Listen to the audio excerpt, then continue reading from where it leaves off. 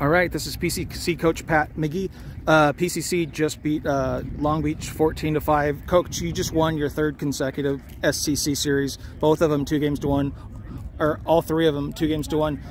Uh, you guys lost the first game in, in each of the series. Um, how, how is how do you feel like after a, a, loss? How do you feel like your team's recovered? What, what's good? What's bad? Sure, I, I, think the kids have been really resilient uh, and they persevered during adversity.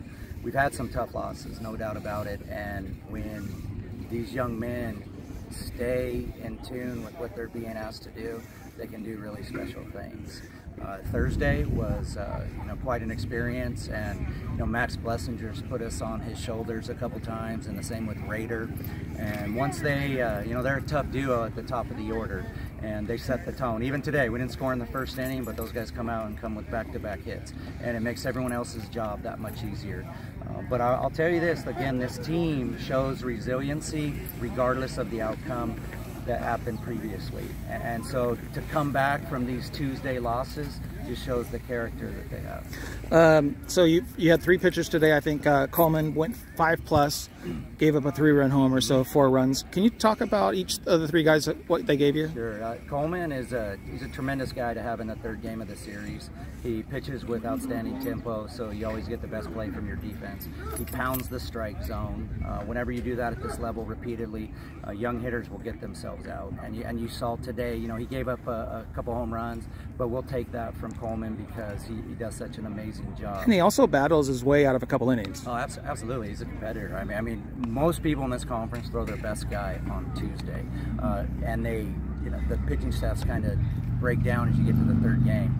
We feel like Coleman matches up with anybody's number one. So you know, to have him at the last leg of the series, mm -hmm. uh, I think it's a big advantage for us. So. Okay, and then uh, Nico? Right, and then uh, we wanted to hurry up and get Nico back out there as soon as possible. We had a tough outing on Tuesday, but Nico's an integral part of this team, and he, he's going to be uh, in a lot of games that have a lot of adversity, and he's going to pitch some high leverage innings. So it was great to get him back out there. Again, you see his stuff is, is outstanding, and when he pounds the zone, he's really hard to hit. Uh, we want to get Kyle in. Uh, Kyle, again, a strike thrower. And you see when you make young men swing the bat, um, you know, the, the, percentages are in the favor of the defense. And so Kyle did a good job throwing strikes and got us out of here. Can you talk about, uh, I think Max and uh, Max Blessinger and, and, Matt Rice both had pretty good games offensively, drove in uh, multiple runs each. Right. Um, how do you feel like they contributed today? Well, I mean, it's not just today. I mean, Max, it's it's unbelievable the way this young man goes about his business. Someone's going to get a steal.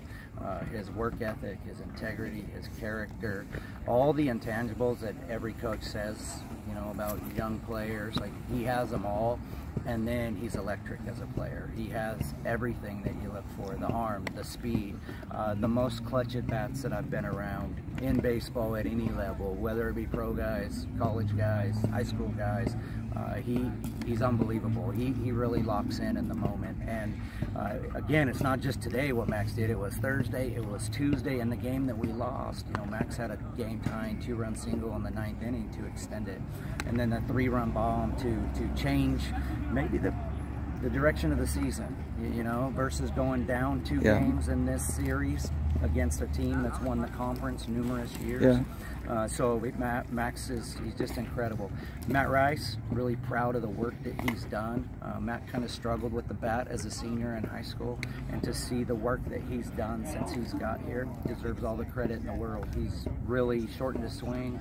Uh, you know, four hits today, I believe, and a walk. So he's had some huge at bats at the bottom of the order, and he turns the lineup over for Raider, for Max. How do you feel he's doing behind the plate? Oh, he's, he's outstanding. Okay. He's a, he's a difference maker back there. Um, you know, he, he he's good for a run or two a game defensively and the way he works. And uh, yeah, he you know this is the first time that we've gone back-to-back days with a catcher, and, and Max, uh, I'm sorry, uh, Matt was was outstanding. So uh, in most of the games, Tello's just been off the charts, insanely good. Right. He didn't necessarily have his greatest game, but can you talk about so far? Like, what are we? Are we halfway yet? Yeah, well, today was game 20. Okay.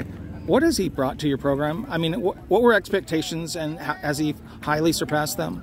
Uh, well, obviously, you don't anticipate young men hitting 500, you know, halfway through the season. but but I'm gonna tell you, he's exactly what we need him to be and what we expected him to be. He's an outstanding player. He has all the tools. Uh, we're you know, it's his first year playing shortstop. He's been a third baseman his whole life, but I, I personally believe that he has the skill set to hold down that position uh, at the next level. And then you throw in his game-changing bat.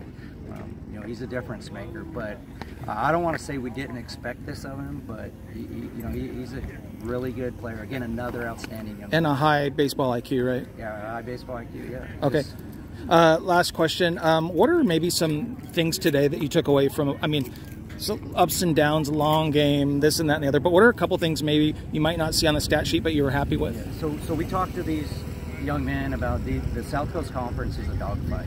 Every series, every game, and when you come out of high school, you don't necessarily, you're not accustomed to that because you're going to have some blowouts, whether you're on the high end or the low end. Uh, but in this conference, it doesn't matter who the opponent is. You have to be ready to play every single day. And I thought this week was the best job that we've done competing for 27 innings. And then we had to play Monday. We had the rain out that we had to uh, finish the suspended game. So we played 31 innings. And then we went to extra innings on Tuesday.